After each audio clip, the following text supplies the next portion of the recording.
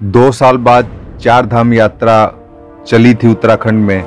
और जैसे अनुमान लगाया जा रहा था कि इस साल सारे रिकॉर्ड तोड़ देगी ये यात्रा, उम्मीद से भी ज़्यादा भीड़ आने की संभावना थी इस यात्रा में। और ऐसा ही हो रहा है। नमस्कार दोस्तों, स्वागत करता हूँ मैं नवीन कुमार, एक और नई वीडियो के साथ आप सभी का डिवाइन स्टोरी यूट्यूब चैनल पर।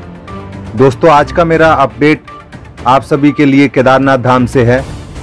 कि कैसे आप दर्शन कर सकते हैं, कितनी भीड़ है इस समय धाम में, और कितनी लंबी लाइनें लग रही हैं, कितना समय लग रहा है दर्शनों में, कैसा मौसम है इस समय केदारनाथ धाम में। तो ये टॉपिक आज मैं आप सभी को बताना चाहूँगा इस वीडियो के दौरान।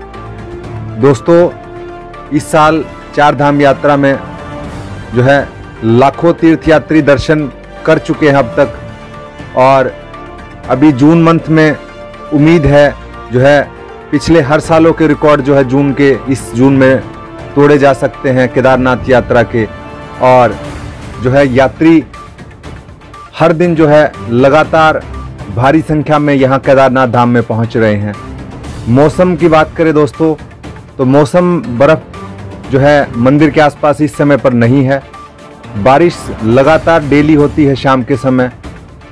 और यात्रा ट्रैक पर भी काफ़ी बारिश जो है इन दिनों चल रही है और बारिश के दौरान भी जो है तीर्थयात्री बड़ी आसानी से अपने भक्ति भाव के साथ जो है बाबा के दर्शनों के लिए पहुँच रहे हैं। दर्शनों में दोस्तों, यहाँ भी आपके कम से कम दो से तीन घंटे लग रहे हैं, लेकिन दो से तीन घंटे में बड़ी आसानी से यहाँ अब दर्शन हो पा रहे हैं भक्तों के।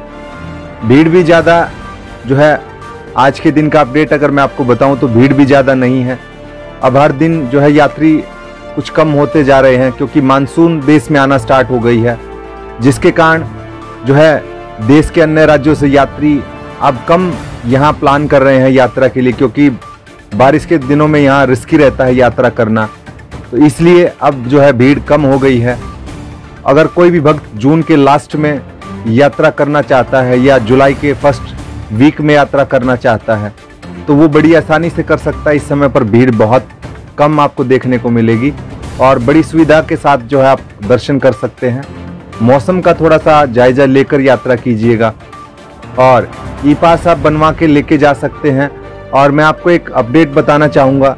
कुछ यात्री हमारे गए थे, उन्होंने हमें बताया कि रस्ते में कहीं पर भी ई पास चेक नहीं हो रहा है।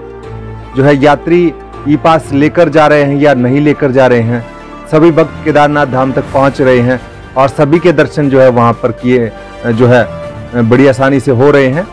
तो इसलिए जो भी भक्त अभी जून के लास्ट में या जुलाई में प्रोग्राम बनाना चाहता है, यात्रा करना चाहता है, केदारनाथ धाम में पहुँचना चाहता है तो वो अपना प्लान बनाकर यात्रा के लिए आ सकता है। और इस समय जो है, भीड़ कम होने के कारण प्राइस में भी आपको यहाँ रूम के रहने खाने के प्राइस में भी डिफरेंस मिलेगा दोस्तों। तो कैसा लगा आज का ये मेरा अपडेट? कमेंट करके ज़रूर बताइएगा। फिर मिलते हैं कैसे ही नए वीडियो के साथ। तब तक के लिए जय हिंद, हर हर महादेव, जय श्री केदार।